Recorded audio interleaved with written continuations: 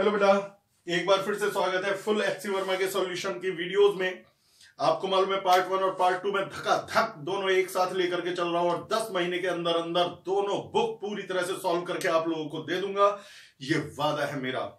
तो फ़िलहाल physics and mathematics चल रहा है और यदि आप लोगों को वेक्टर के बारे में नहीं पता है तो लिंक डिस्क्रिप्शन में दे रखा है। आप प्लेलिस्ट दबाइए और वेक्टर से रिलेटेड जो पढ़ना है, वो क्लास इलेवेंथ की थ्योरी पढ़ लीजिए और फिर आ जाइए यहाँ पर। मेरे बेटा क्वेश्चन नंबर 18 में ये कह रहे हैं कि यदि किसी चार्ज पर लगने वाला force Q E vector plus Q V vector cross B vector है। बेटा, तुम्हारी नॉलेज के लिए बता दूँ, ये कोई गलत फॉर्मूला नहीं, ये क्लास ट्वेल्थ में फॉर्मूला आता है और इसे कहते हैं लॉरेंज फोर्स खैर, तुम्हें उससे मतलब नहीं, तुम तो इसे एक फॉर्मूला मान करके चलो क्यू है चार्ज ई को कहते हैं इलेक्ट्रिक फ़ील्ड क्या होता है electric field it doesn't matter जो है ट्वेल्थ में पढ़ना। वी वेलोसिटी और बी मैग्नेटिक फ़ील्ड अब ये कह रहे हैं कि suppose electric field is in X axis electric field X की डायरेक्शन में है। मैग्नेटिक फ़ील्ड वाई की डायरेक्शन में है। मैग्नेटिक फ़ील्ड तो बताइए वेलोसिटी किस डायरेक्शन में होनी चाहिए?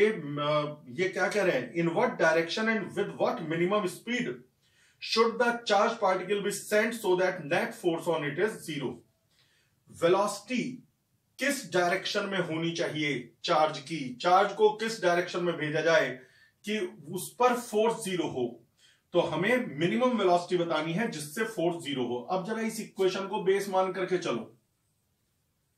इस इक्वेशन को बेस मान करके चलें।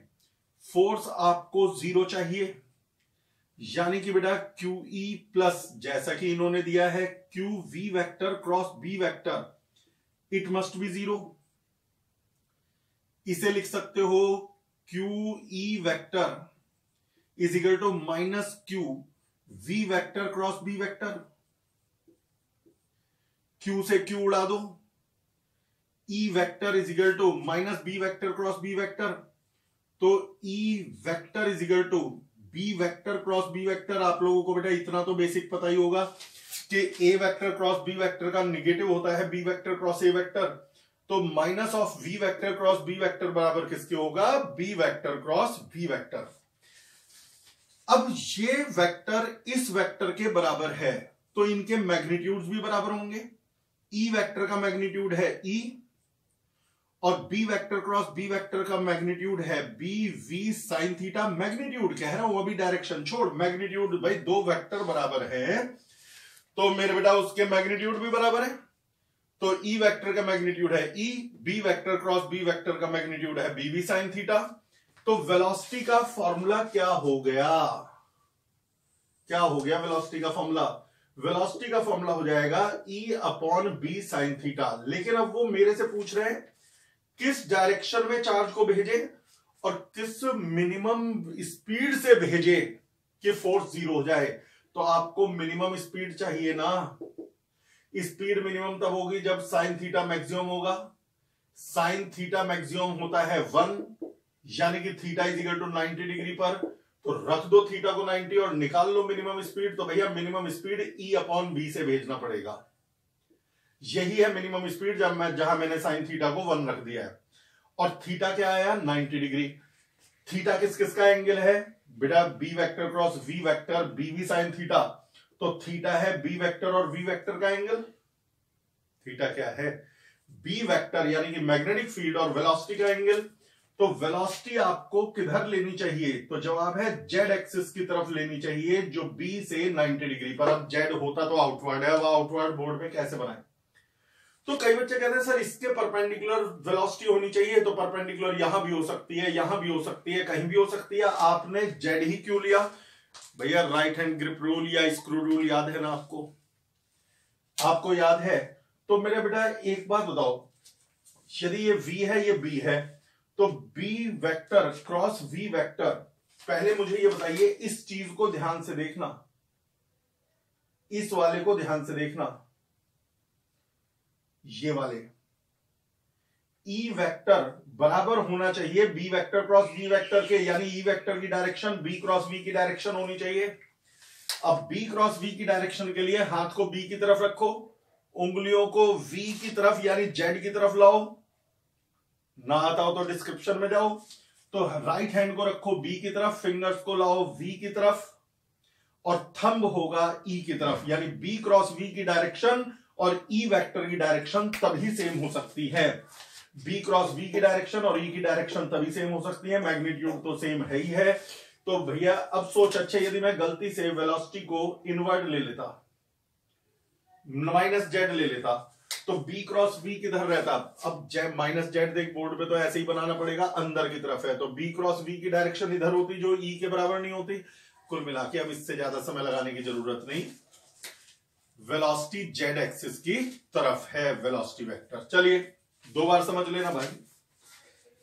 क्वेश्चन नंबर 19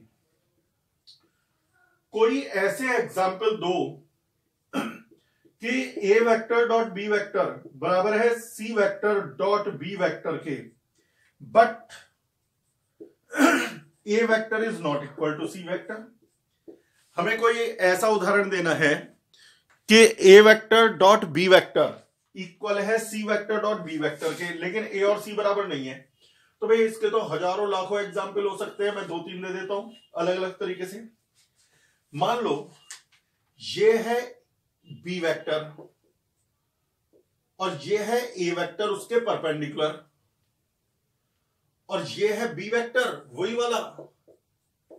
लेकिन ये है सी वेक्टर उसके परपेंडिकुलर तो एक बात बताओ बेटा A vector dot B vector क्या हो जाएगा? इसका, इन दोनों के केस में ए बी कॉस 90 क्योंकि मैंने परपेंडिकुलर बोला है, और कॉस 90 ज़ीरो और C vector dot B vector क्या होगा? C vector dot B vector होगा, ये भी परपेंडिकुलर लिया है सी बी कॉस 90 और कॉस 90 ज़ीरो तो C vector dot B vector भी ज़ीरो ये भी ज़ीरो ये भी ज़ीरो यानी कि बेटा A vector dot B vector बराबर है यहाँ पर C vector dot B vector but क्या ए और सी बराबर है? ए और सी तो अलग अलग डायरेक्शन ही अलग अलग है तो वो अनइक्वल है। दो वेक्टर तो इक्वल तब होते हैं जब मैग्नीट्यूड भी सेम हो डायरेक्शन भी। एक और एग्ज़ाम्पल ले लो, इसे मैथमेटिकल ले लेते हैं। मान लो ए वेक्टर है three I cap plus two J cap B vector है one I cap plus one J cap C vector है six I cap plus zero J cap और बी वेक्टर तो भैया बी वेक्टर तो वही है one I cap plus one J cap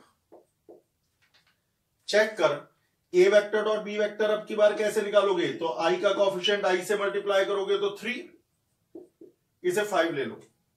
समझा लो और जे के कॉफिशियंट को जे से मल्टीप्लाई करोगे तो टू इन वन टू तो टोटल ए डॉट बी कितना आ गया? फाइव अब C vector dot B vector निकालोगे तो क्या होगा? फाइव आई के कॉफिशियंट को वन से मल्टीप्लाई करोगे तो फाइव और ज़ीरो को वन से मल्टीप्लाई करोगे तो ज़ीरो तो ये भी आ गया फाइव तो यहाँ आप सबको दिखाई दे रहा है कि फिर से A vector dot B vector भी फाइव है और C vector dot B vector भी फाइव है तो दोनों आपस में बराबर है बट क्या ए वेक्टर और सी वेक्टर बराबर है? नहीं भाई, बराबर, वो तो इक्वल नहीं है। एक तो हमारा three I cap plus two J cap है, दूसरा five I cap plus zero J cap है। तो ये ज़रूरी नहीं होता। तो भैया क्वेश्चन नंबर ट्वेंटी आप लोगों को एक टेबल दे रखी है। भैया, ये अधिकतर लोगों ने इसे गायब कर रखा है, करवाते नहीं है। मैं आपको करवा रहा हूँ, क्योंकि देखो एच सी वर्मा में मुझे भी पता है, ये न्यूमेरिकल कंपटीशन में कभी नहीं आएगा। लेकिन ये न्यूमेरिकल आपको ग्राफ के बारे में डीप नॉलेज देता है। तो इसीलिए मैं इसको करवाने की पूरी कोशिश करूँगा। इसमें एक ग्राफ पेपर चाहिए, बोर्ड पर तो ग्राफ पेपर बना नहीं सकते। तो मैं अप्रोक्सीमेटली बना रहा हूँ, जितना बना सकता हूँ, और आपको समझ में पूरा आएगा, बड़े ध्यान से देखिएगा। इन्होंने एक टेबल दे रखी है कि x की इन वैल्यू पर y की ये वैल्यूज़ है। मैंने अभी इसे कॉपी कर दिया है। ड्रॉ द ग्राफ पहले उन्होंने कहा, ग्राफ बनाओ। तो भाई, जितनी एक्यूरेसी रख सकते हैं, उतनी रखते हैं। x की वैल्यू वन पर, y की वैल्यू टू तो वो यहाँ कहीं आएगा? भाई, जब ये बीस है तो टू तो यहाँ कहीं होगा, थोड़ा अप्रोक्सीमेशन चलेगा। X की वैल्यू टू पर, y की वैल्यू एट ये यहाँ जाएगा। X की वैल्यू थ्री पर, y की वैल्यू एटीन ये यहाँ पर पहुंचेगा। X की वैल्यू फोर पर फाइव की value thirty two thirty two यहाँ पर कहीं पर पहुँचा। एक्स की वैल्यू फाइव वाई की वैल्यू फिफ्टी फिफ्टी यहाँ आ गया। सिक्स पर सेवेंटी टू सिक्स पर सेवेंटी टू, ये यहाँ पहुँच गया। और सेवन पर नाइन्टी एट, सेवन पर नाइन्टी एट, ये यहाँ पर आ गया है, लगभग लगभग यहाँ पर। एट पर वन ट्वेंटी एट एट पर वन ट्वेंटी एट तो ये यहाँ कहीं पर होगा। और नाइन पर वन सिक्सटी टू, नाइन पर one sixty two, one sixty two, ये यहाँ कहीं होगा। और टेन पर टू हंड्रेड। ये ग्राफ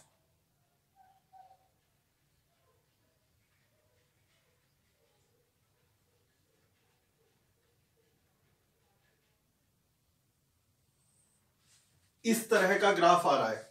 ठीक। पहले उन्होंने कहा ग्राफ प्लॉट करो तो आप ग्राफ पेपर पे कर लेना और एक्यूरेसी से कर लेना बोर्ड पर वो ये है। अब ये कह रहे हैं कि बेटा verify verify that curve is Y is equal to two X square ये वेरीफाई करो कि ये जो ग्राफ है Y is equal to two X square है। आप ये देखना जरा जब x की वैल्यू वन है तो टू एक्स स्क्वायर की वैल्यू क्या होगी? वन का स्क्वायर इंटू टू जब x की वैल्यू टू है तो टू एक्स स्क्वायर की वैल्यू क्या होगी? Two two the four two the eight X की वैल्यू थ्री है तो टू एक्स स्क्वायर की वैल्यू क्या होगी? थ्री का स्क्वायर इंटू टू यानी nine into two eighteen X की वैल्यू यदि फोर है तो टू एक्स स्क्वायर की क्या वैल्यू होगी बेटा? फोर का स्क्वायर इंटू टू यानी कि थर्टी टू आप सब चेक करो। वन पे टू वन पे टू यानी वाई टू एक्स स्क्वायर है X two Y eight X two two X square eight तो वाई टू एक्स स्क्वायर है आप सारे चेक कर लेना।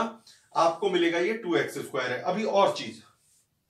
एंड द स्लोप अब ये कह रहे बेटा X is equal to two four six eight पर स्लोप्स बताओ टेंजेंट के। पहले एक्स इजिकल टू टू पर एक टेंजेंट ड्रॉ करनी है। ये मैंने ड्रॉ कर दी टेंजेंट फोर पर टेंजेंट ड्रॉ करनी है। ये ड्रॉ कर दी मैंने टेंजेंट जो X is equal to four पर टेंजेंट है। ठीक है बेटा? फिर x is equal to six पर टेंजेंट तो वो कह रहे हैं टेंजेंट ड्रॉ करो टू पर फोर पर सिक्स पर एट पर एट पर भी मैंने टेंजेंट ड्रॉ कर दी। ये आप अलग अलग टेंजेंट ड्रॉ कर लेना, मैं तरीके सिखा रहा हूँ। फिर वो कह रहे हैं कि and the slope of tangent is four X अब वेरीफाई करो। तुम एक बात बताओ ये मैंने एट पर टेंजेंट ड्रॉ करी। टेंजेंट ड्रॉ करने के बाद आप यहाँ से टेन थीटा निकालना टेन थीटा को कहते हैं स्लोप ये साइड यहाँ से देख करके मैं मेथड सिखा रहा हूँ। यहाँ से देख करके आप परपेंडिकुलर पता करना और इस लेंथ को यहाँ से देख करके बेस पता करना। परपेंडिकुलर अपॉन बेस निकालोगे तो वो कितना आना चाहिए? तो जवाब है वो फोर एक्स के बराबर होना चाहिए। जैसे ये X is equal to eight है X is equal to eight है तो परपेंडिकुलर अपॉन बेस तुम्हारा थर्टी टू आना चाहिए। परपेंडिकुलर की वैल्यू यहाँ से देख के बेस की वैल्यू यहाँ से देख के थर्टी टू आना चाहिए। ये आपको वेरीफाई करना है, करना मत। तरीका पता होना चाहिए। एक्स इजिकल टू फोर पर आपने एक टेंजेंट ड्रॉ करी। टेंजेंट ड्रॉ करी, फिर आपने टेन थीटा निकाला स्लोप निकाला। परपेंडिकुलर अपॉन बेस परपेंडिकुलर कितना है वो यहाँ से पता कर लो। बेस कितना है वो यहाँ से पता कर लो। परपेंडिकुलर अपॉन बेस से स्लोप निकाल लो। ये X is equal to four की टेंजेंट है तो फोर पर स्लोप कहलाएगा। फोर प्लस फोर पर स्लोप सिक्सटीन आना चाहिए। फोर एक्स तो वो ये कह रहे हैं यार कि x इजिकल टू टू मतलब जो स्लोप है, वो y is equal to four x को फॉलो करेगा। जब x is equal to two पर स्लोप निकालोगे तो स्लोप आएगा, यानी टेन थीटा आएगा at x is equal to four पर स्लोप निकालोगे तो स्लोप आएगा sixteen x is equal to six पर स्लोप निकालोगे। स्लोप का मतलब जहाँ भी स्लोप निकालना हो टेंजेंट ड्रॉ करो और टेंजेंट ड्रॉ करके टेन थीटा निकाल लो तो स्लोप आना चाहिए twenty four and so on वो ये काम बस नॉलेज के लिए बता दिया, बाकी कुछ नहीं। वैसे मैं बताऊँ स्लोप फोर एक्स तो आता ही। यदि y is equal to four x square है तो स्लोप क्या होता है? स्लोप होता है d y by d x अब फिर मैं वही कहूँगा, यदि डिफरेंशियल का बेसिक जानना है ना तुरंत बिना पूछे मेरी प्लेलिस्ट में चले जाओ। सिर्फ़ में डिजिटल क्लासेस के चैनल को खोलो प्लेलिस्ट में जाके डिफरेंशियल इंटीग्रल ढूंढो। आपको सारा मिल जाएगा, सब सिखा रखा है। तो d y by d x करोगे तो ये two sorry four into two x यानी कि बेटा एट एक्स आ जाएगा। तो ये मैंने आपको बता दिया है, कैसे होना है। पहले दिए गए डाटा से ग्राफ बनाना है। ग्राफ बनाने के बाद स्लोप्स बनाने हैं टेंजेंट बनानी है। अलग अलग जगह मैंने सारी टेंजेंट नहीं बनाई। टू पर टेंजेंट बनानी है फोर पर टेंजेंट बनानी है सिक्स पर बनानी है एट पर बनानी है। फिर टेंजेंट बनाने के बाद टेन थीटा निकालना है। अच्छा कई बच्चे कहते हैं, सर ट्रेंगल इतना लू या बड़ा लू? एक बात बता, ये एक स्ट्रेट लाइन है। तुमने स्लोप टेंजेंट बनाई है। यदि मैं बड़ा ट्रायंगल लू या छोटा ट्रायंगल लू या इतना सा ट्रायंगल लू तो टेन थीटा लगाएँगे क्या? भैया कॉरस्पॉन्डिंग एंगल थीटा तो सारे सेम है। जो थीटा यहाँ वही यहाँ वही यहाँ। क्या ट्रेंगल बड़ा छोटा होने से टेन थीटा बदल जाएगा? हर बार एक ही आएगा, तुम्हारी मर्ज़ी, जितना बड़ा ट्रेंगल अब जैसे मैं यहाँ पे टेन थीटा इससे निकलवा रहा हूँ, तुम यदि चाहो इतना सा ट्रायंगल बना लो, जिसे आसानी से नाप सको, और टेन थीटा निकाल दो, भैया, वही आएगा। समझ में आ गया? तो ये था आपका क्वेश्चन नंबर ट्वेंटी ओके अभी एक क्वेश्चन और हो सकता है। वो भी डिफरेंशियल से रिलेटेड है। भाई इतने तुम स्क्रीनशॉट लो, मैं अगला क्वेश्चन और करवा दू। फटाफट, बस ये लास्ट होगा इस, आज की वीडियो का। इसे ग्राफ को नहीं मिटाना बेटा क्वेश्चन नंबर ट्वेंटी वन अब ये प्योर डिफरेंशियल में घुस गए उन्होंने कहा, यदि y is equal to sine x है, x चेंजेस फ्रॉम x जो है पाई बाई थ्री से बढ़ के pi by three plus pi by hundred हो गया। यदि एक्स इतने से बढ़ के इतना हो गया मतलब चेंज कितना मान, बता रहे हैं? चेंज तो पाई बाई हंड्रेड का ही हुआ ना, उसे बोलेंगे डीएक्स बहुत स्मॉल चेंज है तो डीएक्स लार्ज चेंज है तो डेल्टा एक्स एक्स की वैल्यू शुरू में थी एक्स यानी पाई बाई थ्री बाद में हो गई एक्स में बढ़ गया डीएक्स यानी pi by three plus pi by hundred तो वो कह रहे हैं कि बताओ वाई में कितना चेंज होगा? dy बताना है। dy कहते हैं वाई में हुए चेंज को। स्मॉल चेंजेस हो तो डेल्टा की जगह डी तो मेरे बेटा एक बात बता, y है साइन x तो dy बाई डी एक्स क्या हो जाएगा? इसका डिफरेंशियल क्या हो जाएगा? ये हो जाएगा कॉस एक्स तो dy कितना होगा? dy होगा बेटा cos x into d x अब x तो था पाई बाई थ्री तो cos pi by three into x d x था pi by hundred pi by hundred cos sixty होता है हाफ़ पाई है three point one four upon hundred तो ये हो जाएगा बेटा one point five seven upon hundred तो ये बनेगा point zero one five seven ये है डीवाई यानी चेंज इन वाई तो क्वेश्चन नंबर कौन सा हो गया भाई आपके ट्वेंटी वन तो 21 में मैंने आपको बता दिया point zero one five seven अब देख, अगली वीडियो में पहुँचने जा रहा हूँ, वहाँ पर डिफरेंशियल काफ़ी आएगा तो मैं एक लास्ट बार कह रहा हूँ कि यदि आप लोगों को डिफरेंशियल नहीं आता है तो अगले पाँच सात न्यूमेरिकल दस न्यूमेरिकल समझ में नहीं आएँगे। तो तुरंत इतने मेरी अगली वीडियो आए प्लेलिस्ट में जाके डिफरेंशियल इंटीग्रल के सारे पार्ट पढ़ के बैठ जाओ। ठीक है बेटा, मिलते हैं जल्दी। Bye bye